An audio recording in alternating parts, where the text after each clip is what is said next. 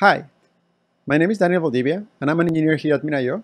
And today I'm going to talk to you about writing machine learning uh, pipelines against object storage and the reason why uh, you should be thinking about doing it that way, right? So I'm going to be introducing you first to the a part of the problem uh, about how traditionally organizations are writing machine learning models and using them in production.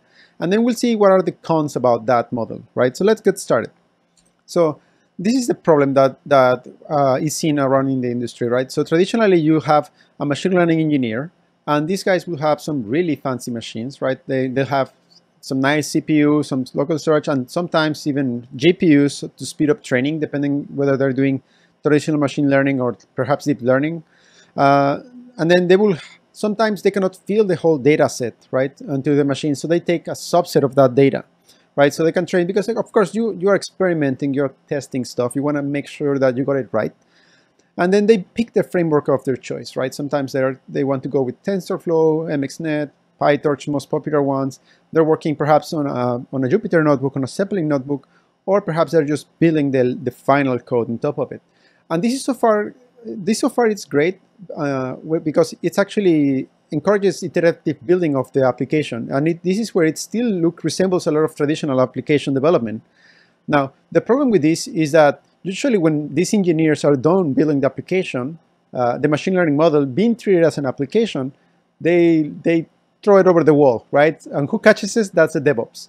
And then the DevOps has the mission to take this application and go figure it out, okay, what data do I need to bring to train this?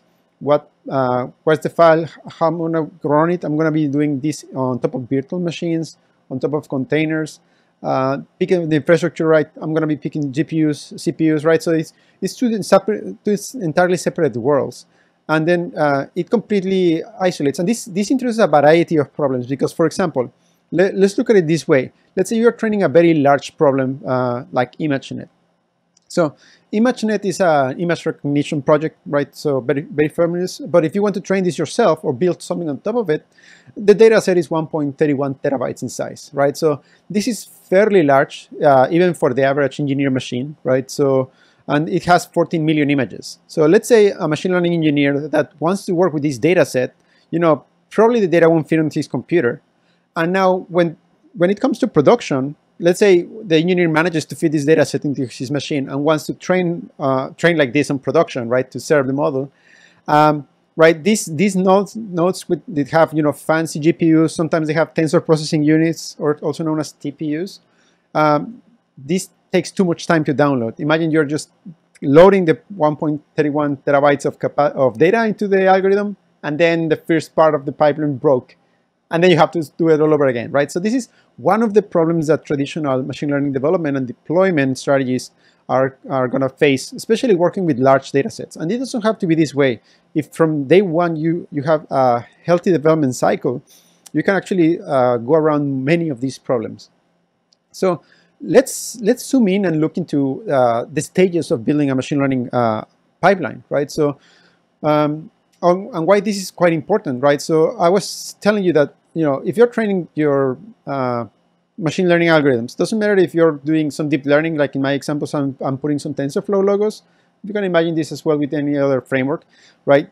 So usually compute tends to be quite pricier, right? So in my case, if I'm getting some VMs with GPUs or CPUs on the cloud provider, or just procuring that hardware for my data center, these machines are definitely going to be way more pricey, right? So having them block on doing basic operations like loading data in and out, uh, it's just too expensive, right? And this gets even worse if you're using an even nicer machine on the cloud, like the ones that use TPUs. Those machines are going to be way pricier. But comparing this type of infrastructure to storage infrastructure, right? Infrastructure can be more plentiful and it's actually cheaper to operate and, and host. So this is where the, the advantage of actually designing your machine learning uh, pipelines against object storage comes into place, right? You can design everything where you have a very large data lake of data sets, right? And you're at any given time when you need to train, let's say you keep your data on premise and then you want to train on the cloud when you need, only when you need to train, it's because then you get access to burstable compute, right? Or maybe some other uh, situation in your organization. Maybe the compute is constrained, right? You have to time share it or something like that, right? So then you want to make sure that when it's your time to crunch, you, you don't spend time uh, actually loading data. You just want to go ahead and crunch the data, right? Perhaps you're sharing this uh, infrastructure for, for some other purposes, right? So that's it's very important that to have a very uh, clean separation of the infrastructure. And I mean, the storage infrastructure is, is great if it's running object storage because it can be uh, built very large scale at a very low cost. So zooming into machine learning pipelines, usually how they're built is, you know, an engineer goes and he extracts some data, right? He extracts it out of somewhere and then uh, he cleans it up.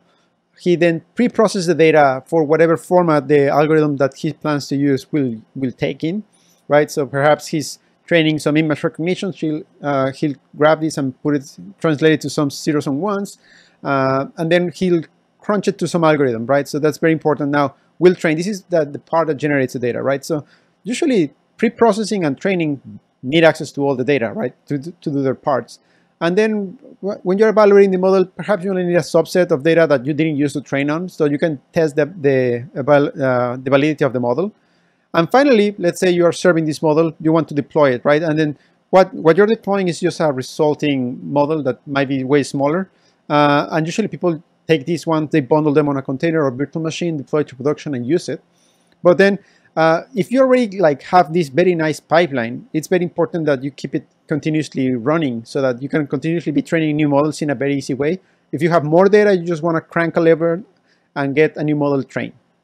So more importantly, once the data, the, once the model is, is starting serving, you want to start acquiring more data and then be able to say, okay, I want to acquire more data and perhaps reevaluate my model and see if it's working or not. And if it's not working for the newer data, let me trigger a retrain. So some of the scenarios where this could happen, imagine that, let's say you train a model uh, to do some character recognition. And let's say beginning of time, people only did zeros and ones. So you train the best model out there to do zero recognition. People will do like these balls and then they will get them a zero. They will do a, a line and they will get a one. But then in the future, let's say some new trendy users, they, they decided to start using a new fashionable digit they call two and your model doesn't really recognize it because it was not originally trained on it, right? So it will do some faulty recognition of picking this as a zero. So this is where it's very important that you build your machine learning pipelines in a, in a mechanism that's continuously easy to just, uh, again, press a button and have them rerun the whole pipeline to train a new model against the newer uh, either label data or unsupervised data that you're using for your algorithms and train it, evaluate it, and deploy it all in a simple fashion, right? Now, if you see uh, all of these boxes, to some extent, they are be becoming components. So, and this is very important to look at uh, to look at each stage of a pipeline as a reusable component, because now this is where you know maybe extracting the data will act the same for you every single time, but pre-processing data can be improved over time. Let's say now we have some better techniques to pre-process the data. We made some decisions on how to do that. Let's say we had a, a first version of my training algorithm and then we, we built a new, a new version, a third version, right? So looking at this as, as reusable components is quite important so that you can see the evolution of the pipeline and then not the whole, it doesn't need that, mean that necessarily that the whole pipeline needs to be changed every time uh, something that needs to be changed about it. You can just simply change the component that you need to update, right? Or, or improve the component. Moreover, if your pipeline is already looking like this, right? Uh, you can imagine, yeah, perhaps I did this initially with TensorFlow, let's say, uh, and I use Python on TensorFlow code to extract, pre-process, train, evaluate, and then serve my model, right? And then let's say containerize this and deploy it on a Kubernetes pipeline. So this could be my version one of my pipeline, and it, it could uh, be a very decent model, right? And this is actually the, the approach that we're going to be exploring through the demo. But uh, you don't necessarily need to stick to this, right? So you can start with this, and if you're structuring your pipelines so that they are continuously, uh, they're designed to continuously be run, and but then they're not actually running on the data being, uh, they're not relying on the data being present locally at all time because that that's kind of like the, this the the learning of the story, right? So uh, it's you don't want uh, you don't want the extract to be like downloading all the data right, from the source and then putting in the file and then having to have that file copied over from hard disk drive to the next uh, container on the hard disk drive to pre-process it and then having another file and then copy it. You want to do something that glues these together, right? And moreover, perhaps this is not the right tools at uh, over time. You want to move into more modern solutions. Perhaps you say, well, my extraction now I'll do with Trino, my pre-processing I'll do with Spark, training TensorFlow, evaluating with TensorFlow, and then I'm going to use KServe to serve this. So when you start looking at your machine learning pipelines as modular components that you can actually start improving over time, it unblocks a, a, a world of uh, functionality over time. And what, uh, the point that I was also trying to make is how to glue this, right? So the, the right way is where object storage can be thrown into the mix, right? So that, you know, uh, data extraction is reading out of your data lake. Uh, that's your object, your object storage. And then putting it, uh, the extraction results into object storage again. Then the preprocessor uh, stage of the pipeline comes in. It reads that file, right, that uh, straight from object storage, cranks it, puts it back into object storage. Then comes TensorFlow, trains, it reads straight from object storage, right? It doesn't need to load the data entirely. It, if, if uh, for example, in TensorFlow, we have the, the concept of estimator. So as training is happening on top of uh, the batches, uh, TensorFlow will uh, load the data that it needs straight from the object store, right? Same goes for evaluation, and then the resulting model can also be pushed to object storage, and we can then have a single container for serving that's just reading a different model, right? And then that's how we do a quickly deployment. And then let's say for ingesting more data, you, you can bring any application of your choice. Again, throwing more data into, into the object store so that if you reach a certain threshold, let's say you, you you have some unsupervised anomaly detection algorithm that you're capturing, I don't know, a lot of HTTP access logs through Kafka. And at some point you say, well, every time I, I get, every time, every after every single day or every X amount of hours, I want my algorithm to retrain automatically, right? So then that's where after Kafka has thrown enough data into object store, uh, object store can either notify you via Lambda notification or you can just uh, pull a lever and then start the whole thing together, right? So this is the, the importance of actually designing your machine learning data pipelines against your uh, object store so that you can uh, build these re highly reusable pipelines that can evolve over time and become more sophisticated, right, and deliver higher value, and again, uh, ma make everything more uh, useful, right? Now, most most of the uh, concerns here is like, okay, how is this going to look, right? So how am I going to de develop these sort of pipelines?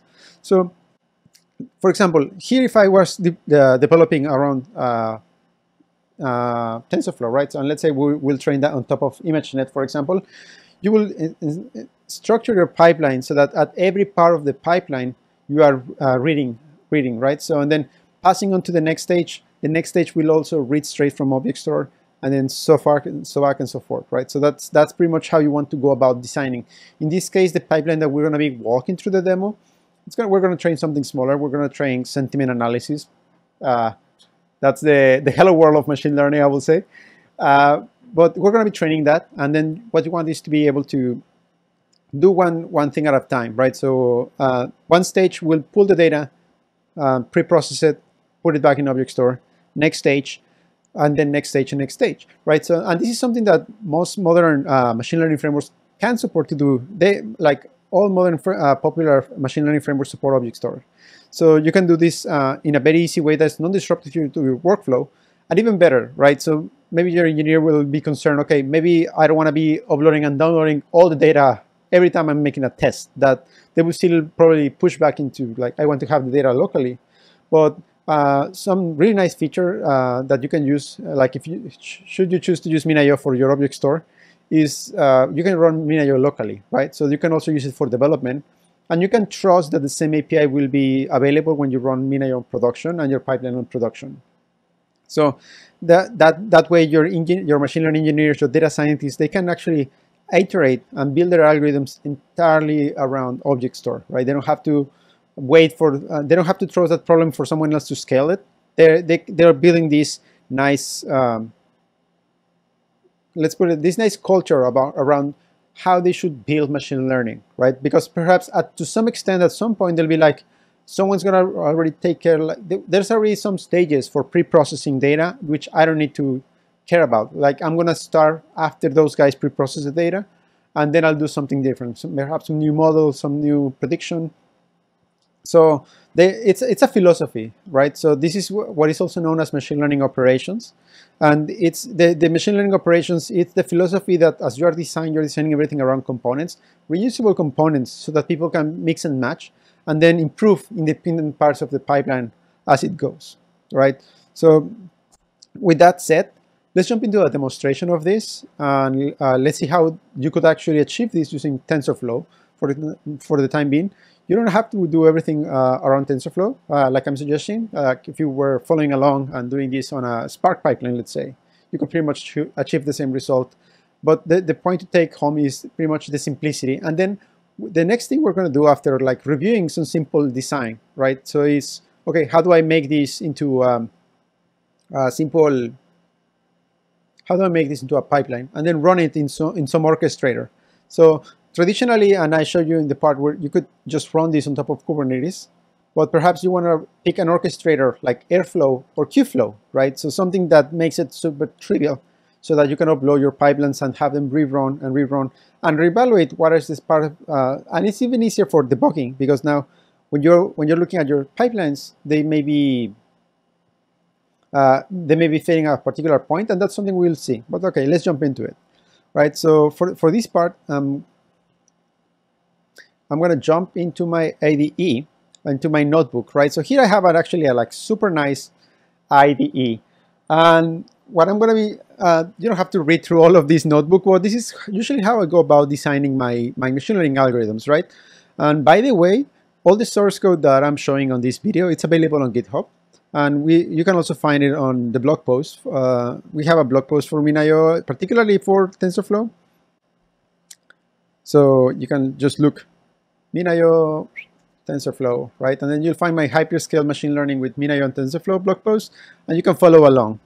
Now, uh, in this case, as I'm designing my machine learning algorithm, I want to be able to do stage by stage what I, what I need, right? So perhaps I want to download my data, put it into object store, and then take it from there, right? So, so what I want to do in this, uh, in this is pretty much go along with the algorithm, right? So this is how I will pretty much go about making my algorithm. I will install importing my dependencies, setting some uh, base uh, parameters. In this case, I'm going to be pushing everything uh, to my object store, right? So I'll be pre-processing some data into some bucket using the Min.io SDK to actually download the data that I'll be like extracting and pre-processing, right? So that's going to be the first part of my pipeline, which is let's pre-process some data, right? So in this case, I got the ACL IMDb dataset. That's a dataset of pre-labeled data that has movie reviews.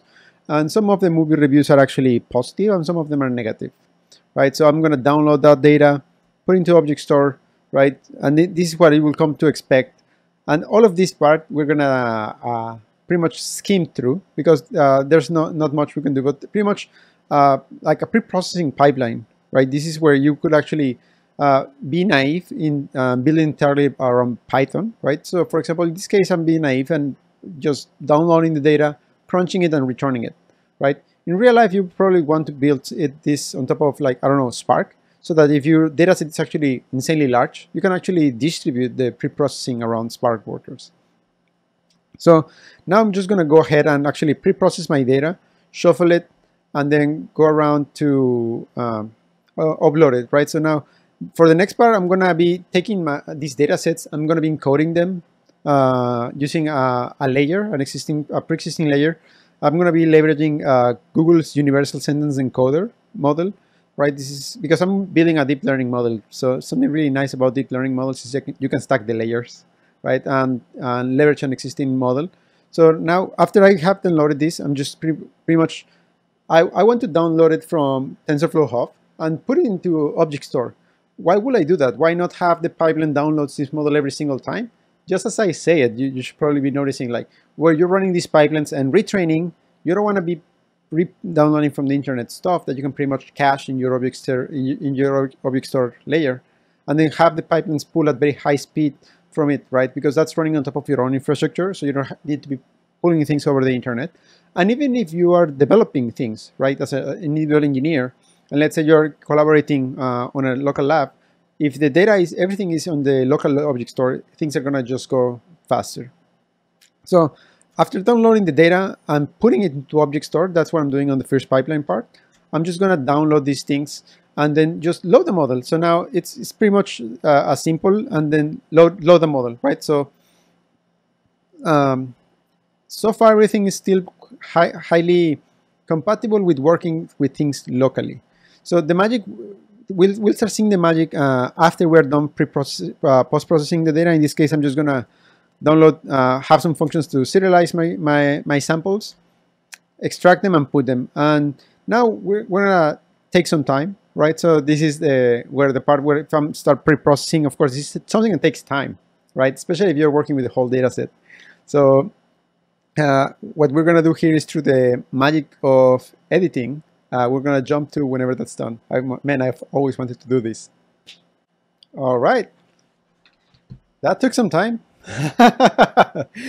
and after we're done pre-processing our data, of course, uh, you, now you want to get uh, in the business of training, right? So this is where uh, the, the things really start making sense about uh, you don't have to load the whole data because, for example, particularly here on TensorFlow, uh, I can I can start loading my uh, like right now I'm listing straight from object storage, getting some list of files.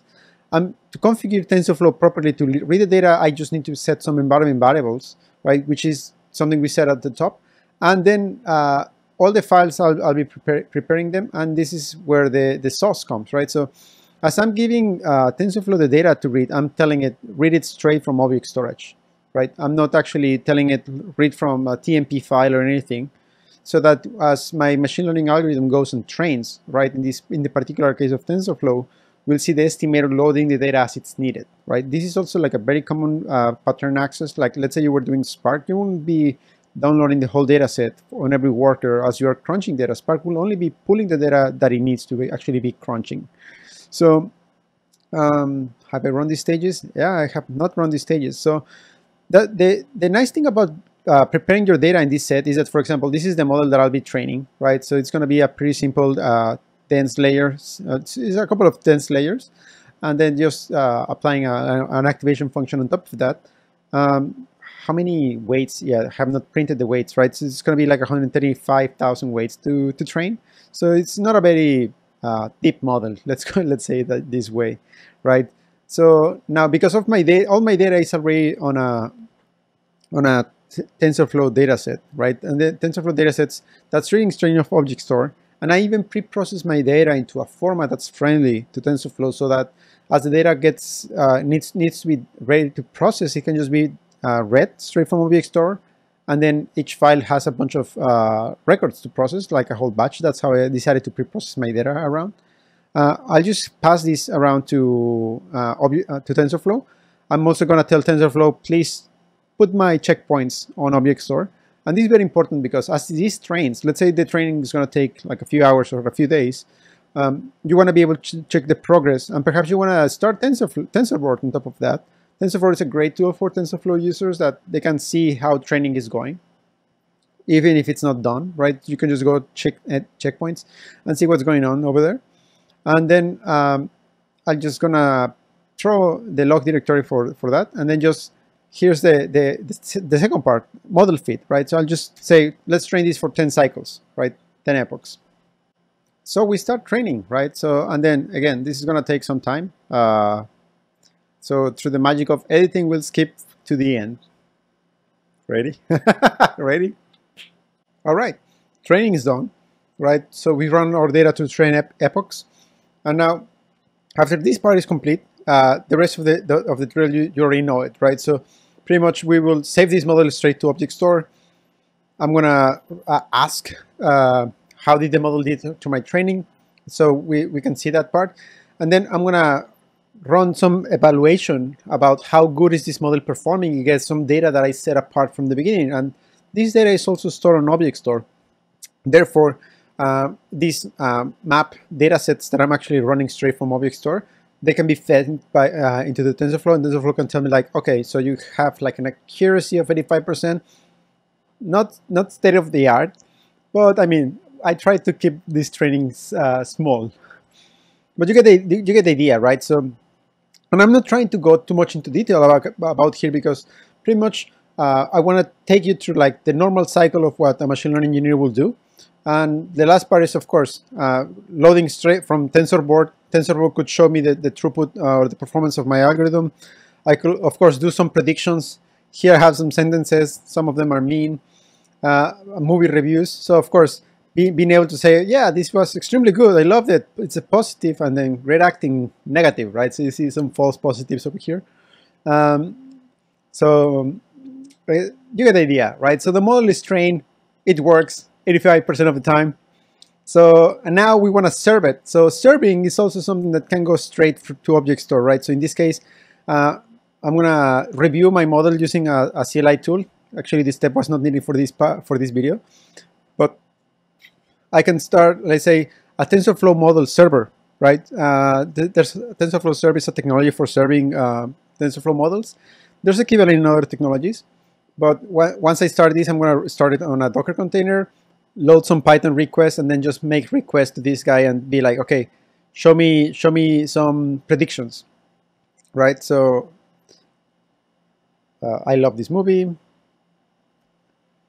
And there we go. So I, I actually sent all my same samples through through like through a JSON interface and I got what I was expecting, right? So you can see how uh, I'm gluing everything to Object Store so that when this actually reaches production, everything is ready, right? So now, traditionally, as a data scientist, I'll be say, done, let's, let's take this to production, right? Now, I could just throw all this uh, Jupyter Notebook into a large Python file. And of course, everything is ready for prime time. Just put this in a container. I will tell my DevOps, run it. And then things will work, right? So, but of course, uh, we've seen what, the, what is the problem with this approach, right? We, you can, it's not a highly scalable approach. And the, the main idea that you want, the main takeaway is, okay, this is, we want to improve on top of this, right? Now, the best part that if I, if I de design my whole pipeline uh, around very well-defined stages. And I, on, very on purpose, I put everything into a single large file. I didn't try to, I could have organized this very nicely into separate files. You can do that. I actually encourage you to do that. Uh, for the sake of, the, of this video, I actually made a very large file so that you could actually see that, for example, uh, my orchestrator of choice is Kubeflow for this video as well, is uh, if I want to transition this to a pipeline on Kubeflow, it's going to be dead simple, right? So I can use actually, for example, Kubeflow um, pipeline components, uh, Python functional components and Kubeflow, and I can just take my chunks of Python code, wrap them on, on, a, on a stage. In this case, pre-process my pre-process data function is going to be one of my stages, right? The other stage is going to be my training stage, right? All the code that you saw me run for training, my evaluation code, my deployment code, right? All of that uh, are going to be stages of my pipeline. And Kubeflow makes it very simple through their DSL, uh, like uh, kind of like their pipelines SDK has a DSL for actually designing pipelines this way. And that's what I'm doing. I'm just taking my code and I'm actually, uh, I don't want to bother you, uh, bore you with just me copying data from left to right. That's why I prepare this pipeline. But the, the, the, main takeaway is that, okay, the code is already ready to read data out of a different location, in this case, object store. So there's no need for me to set up anything to copy data into the container, right? So I don't need to set up anything. Even better, I can just hit run on this pipeline on the right side. That will beam it up to my Kubeflow instance. Let's do that right now.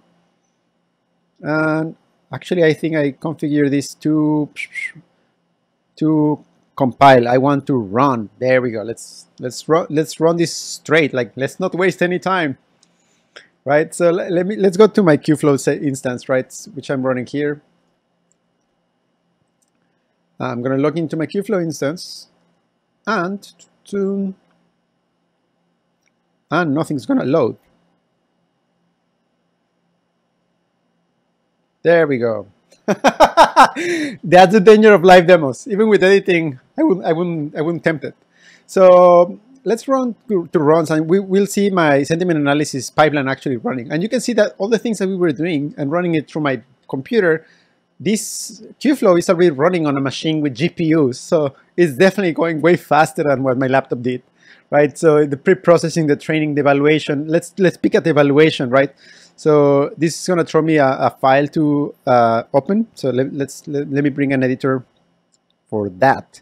So after opening this this file, I can see the uh, the accuracy training, right? So because of random initialization, I was fixing a, a very particular random number. I got like better accuracy uh, on my machine. I actually no, this is actually uh, the actually the same accuracy I got on my notebook. So, but you get the idea, right? So what? But you get the idea, right? So what, I, what when I was essentially running things before let's see if this one opens. Yeah, this one opens in browser.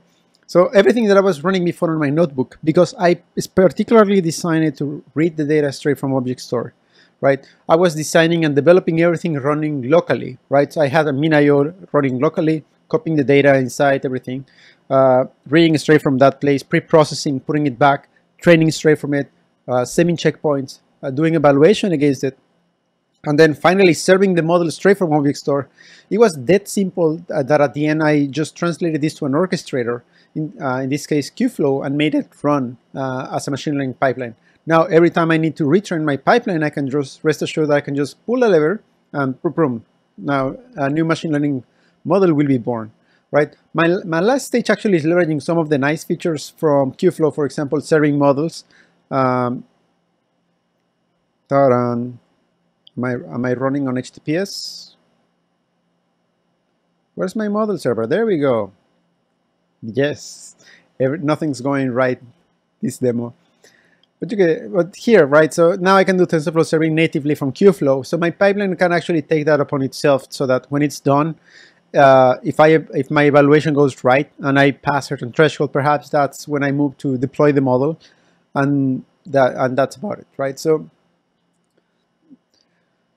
so machine learning operations is a it's a development philosophy. That's what I've been trying to like. That, that's if anything you want to take from this uh, talk is that you machine learning operations should be a, a, development philosophy. This is you want people to be like, okay, I'm gonna be a better pre-processing, or I'm gonna be a better extractor stage, right? But then they build it in a way that can be reused by someone else, right? So, uh, or they can also rebuild it, build their own machine learning algorithms on top of their own reusable components. So that, that's what you want your organization to move towards, right? So that the machine learning algorithm, uh, the machine learning pipelines are highly reusable.